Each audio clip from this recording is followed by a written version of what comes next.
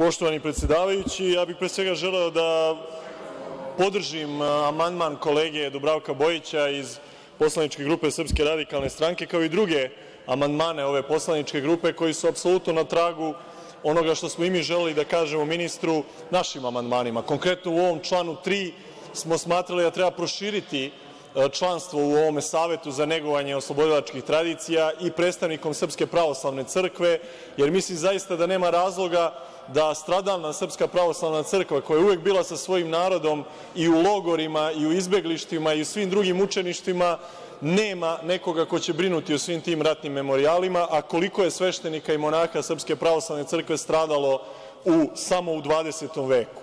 Dakle, mislim da je tu napravljen krupan propust i molim vas samo da obratite pažnju na to. Takođe, želeo bih da vas podsetim da mi niste odgovorili, gospodine ministre, jedno veoma važno pitanje – da li su stratišta srpskog naroda na prostorima bivših jugoslovenskih republika takođe obuhvaćena planom budućih ratnih memorijala? Dakle, mislim na sva mesta stradanja srpskog naroda od Slovenije preko Hrvatske do Bosne i Hercegovine. Da li ćemo dakle, mi kao država Srbija preuzeti odgovornost da brinemo i o svim tim stratištima, jer su sve to bili srpski otadžbinski, oslobodilački i odbrambeni ratovi kako bi se srpski narod spasao trostrukog genocida koji mu je bio predviđen na tim prostorima u 20. veku. I još jedna veoma važna stvar koju smo ovde takođe pominjali, a nismo od vas dobili odgovor, zašto se dakle izbegava taj srpski predznak u definisanjima određenih zakonskih rešenja? Dakle, ovo nisu samo oslobodilačke tradicije, ovo su otadžbinske, ovo su srpske vojničke tradicije, ovo su odbrambene vojničke tradicije srpskog naroda. To je veoma važno za definisanje onoga što je srpski narod radio u 20. veku. Srpski narod se branio od genocida koji je bio praktično planiran nad ovim narodom. I mi moramo da definišemo tu prevenciju genocida kao jednu ključnu politiku u 21. veku, da nam se taj genocid nikada više ne bi ponovio. To je ono na šta sam insistirao u svom prethodnom govoru i molim vas da obratite pažnju na to.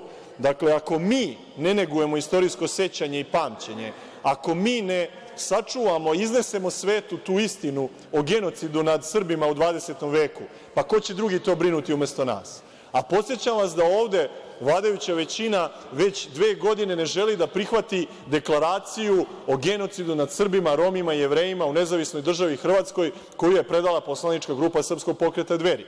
Ne vidim razlog za to.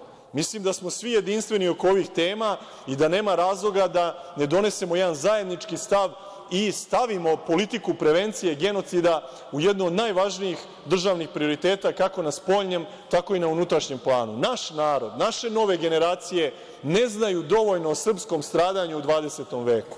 To treba da bude jedna od važnih tačaka u našim udžbenicima, a nije na odgovarajućem nivou, u našim medijima, a nije na odgovarajućem nivou pa onda i u našim ratnim memorijalima, gde takođe nije na odgovarajućem nivou, jer mi nismo stradali, gospodine ministre, samo na prostorima Srbije. Mi smo stradali na prostorima svih srpskih zemalja na Balkanu, gde su Srbi živeli, odakle su proterani, gde su ubijani, gde je na njima izvršen genocid i gde je praktično srpski narod postao najveći narod izbeglica u savremenoj Evropi sa preko milion Srba koji su morali da napuste svoja vekovna ognjišta.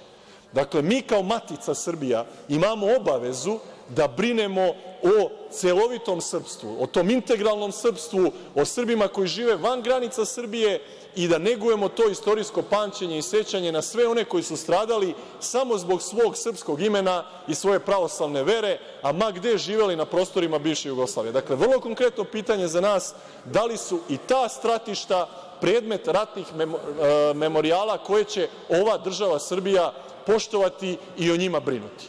Hvala.